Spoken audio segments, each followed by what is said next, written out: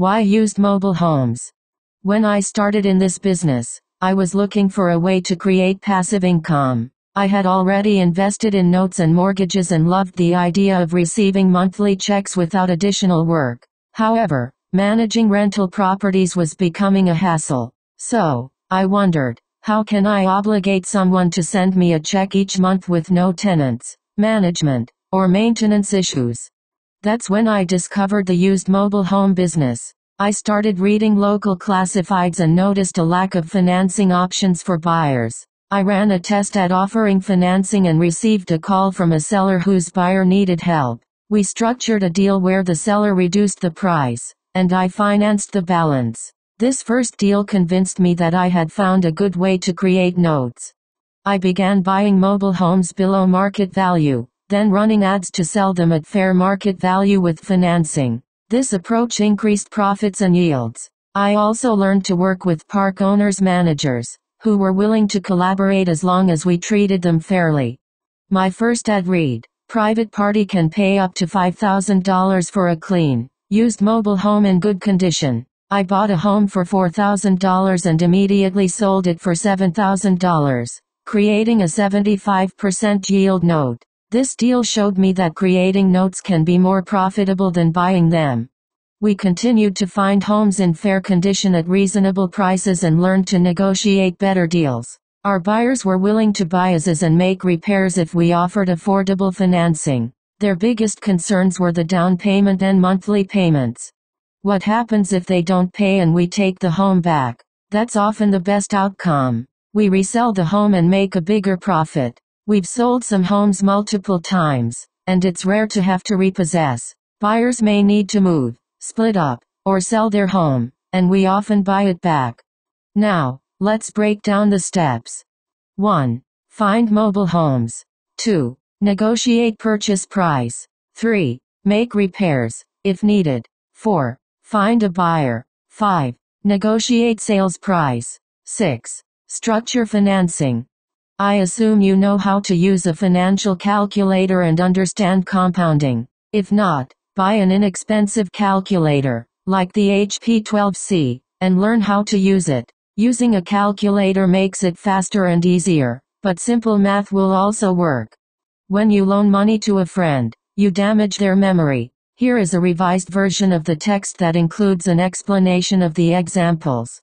Which mobile homes offer the best profits? We aim to invest in mobile homes that offer the highest returns with the least risk. Our strategy is to buy older, single-wide homes, 10-20 years old, that are 12 to 14 feet wide and 60 to 70 feet long. These homes can be purchased for $2,000 to $3,000 and sold for $4,000 to $6,000, providing a substantial profit margin. To illustrate this concept, we've provided two examples.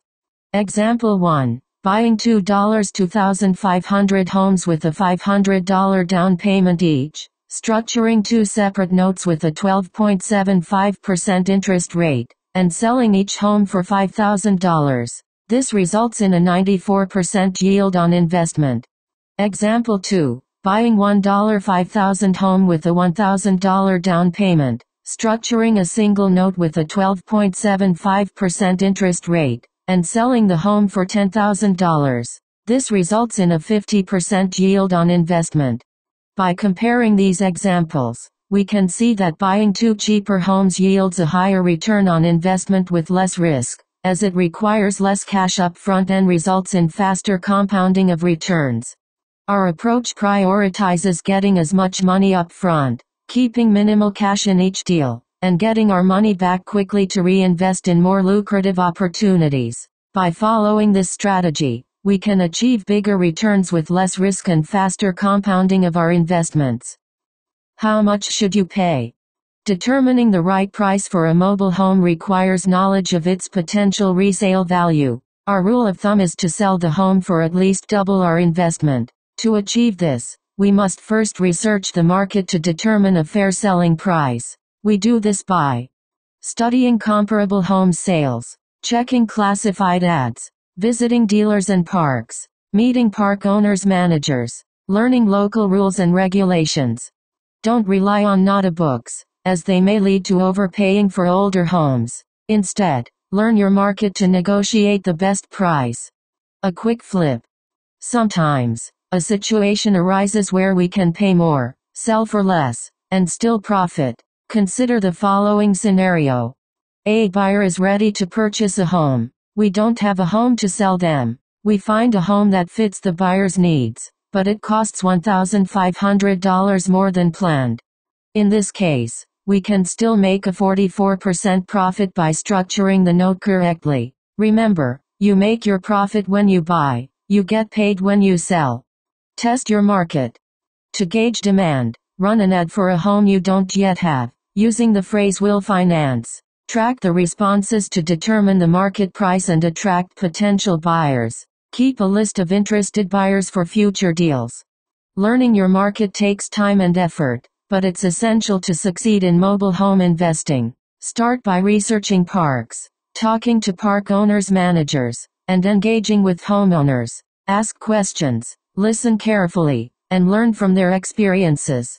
In the next chapter, we'll explore finding and purchasing your first mobile home. Remember, the key is to start small and build momentum. Don't try to set the world on fire with your first deal. Just focus on getting started.